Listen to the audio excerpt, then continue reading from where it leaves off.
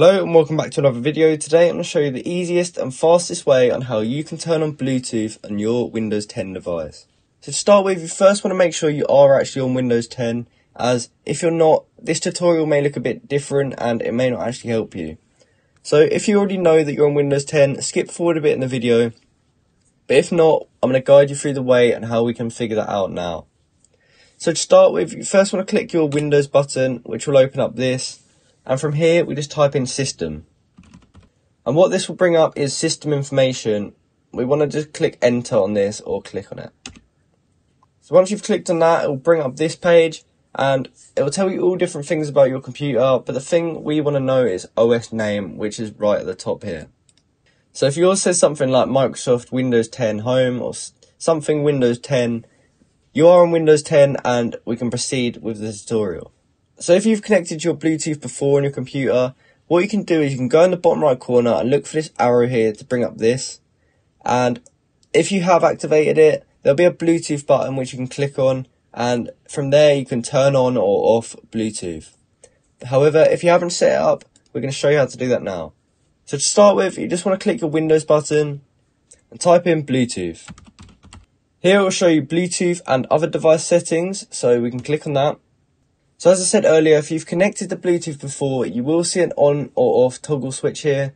However, if you haven't, it means you haven't connected to a Bluetooth device yet, just like I haven't. So what we're going to do is click add Bluetooth or other devices. And since you're adding a Bluetooth device, we're going to click Bluetooth. But first, you want to make sure the thing you're connecting to is turned on, in range of your PC, and also looking for a Bluetooth device to connect to. And if that is true, go ahead and click Bluetooth.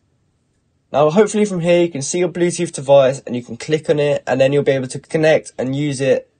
However, some people may run into this issue like I have, which says couldn't connect. Now, there can be a few issues for this, so I'm going to guide you through the fixes for them now. So to start with, you first want to make sure your PC is actually compatible with Bluetooth.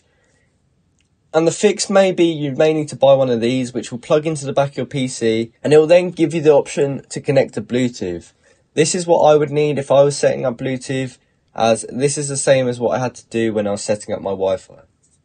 Now, if you've used Bluetooth before, there is one final fix we can try, and that would be to first click the Windows button, then you want to type in Device Manager and click on that. This will bring open this page, and from here, if we have actually connected to Bluetooth before, one of these options will say Bluetooth. Now, if we have, we can double click on it and it will show us all the devices and we can go ahead and try and update the drivers on all of them.